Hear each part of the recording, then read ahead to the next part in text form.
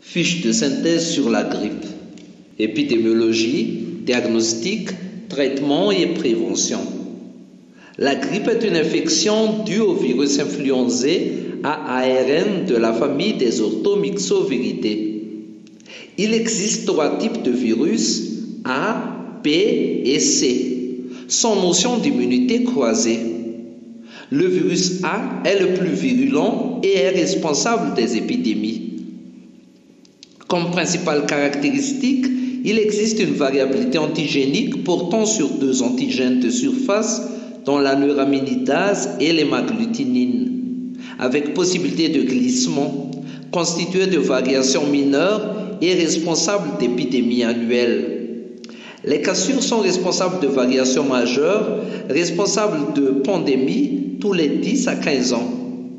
La mortalité est élevée aux deux extrêmes de la vie, surtout pour les sujets âgés, pour l'insuffisance cardio-respiratoire, l'asthme, le diabète, l'immunodépression et la femme enceinte. Pour la contamination, la contagiosité est extrême par voie aérienne exclusive avec un taux d'attaque en cours d'épidémie de 10 à 20% La dénomination de la souche contaminante se fait en fonction du type, de l'origine géographique, du glissement, du numéro de la souche, de la date d'isolement, de l'hémagglutinine et de la neuraminidase. Par exemple, il y a le A Texas 1 77 H3 N2. Il peut y avoir une résurgence de virus anciens en 20 à 60 ans. Du côté physiopathologie, la multiplication virale se fait dans les cellules de l'épithélium respiratoire où il y a nécrose des cellules la mucus et des cellules ciliées. Il a une réaction inflammatoire sous-muqueuse avec afflux de macrophages. L'incubation est muette et dure 2 à 3 jours. La phase d'état est marquée par un début brutal avec fièvre élevée, des douleurs diffuses à type de myalgie et de courbature, un catarrhe des voies aériennes supérieures, ainsi qu'une toux sèche et douloureuse. L'examen clinique est normal. La radiographie du thorax et les hémogrammes sont inutiles. L'évolution est spontanément favorable en 3 à 7 jours. Les formes atténuées sont constituées par une forte contagiosité.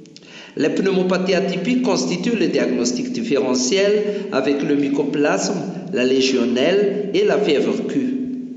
Le diagnostic différentiel se pose aussi devant des autres infections virales comme l'adénovirus, l'entérovirus et le rhinovirus.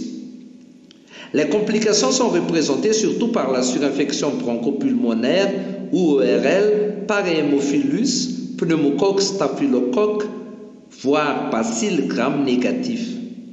En outre, il y a la grippe maligne provoquant un œdème pulmonaire lésionnel avec un syndrome de Rey constitué d'une encéphalopathie et de dégénérescence graisseuse du foie. La confirmation diagnostique s'avère inutile dans la forme commune? Son intérêt plutôt épidémiologique. Elle est indispensable dans les formes graves. Elle se fait par écouvillonnage nasal précoce suivi d'immunofluorescence directe et de culture cellulaire. Le sérodiagnostic se présente avec augmentation du titre des anticorps à 10 à 15 jours d'intervalle.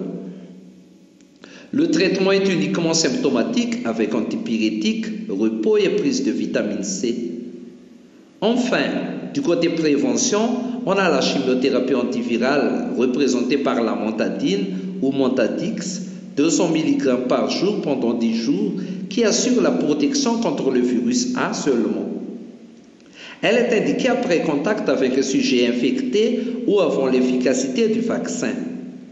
Il s'agit d'un traitement de 10 à 15 jours pour prévenir l'entourage proche non vacciné ou en attente de l'immunité vaccinale après 10 à 15 jours.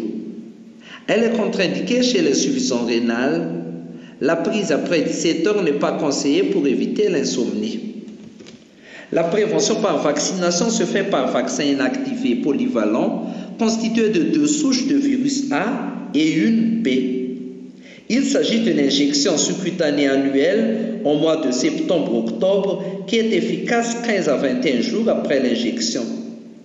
Elle assure une protection de 70 à 90%. Elle est indiquée pour les personnes âgées plus de 65 ans, les immunodéprimés, les sujets en institution et ceux avec insuffisance respiratoire. Elle est contre-indiquée devant une allergie vraie à l'œuf.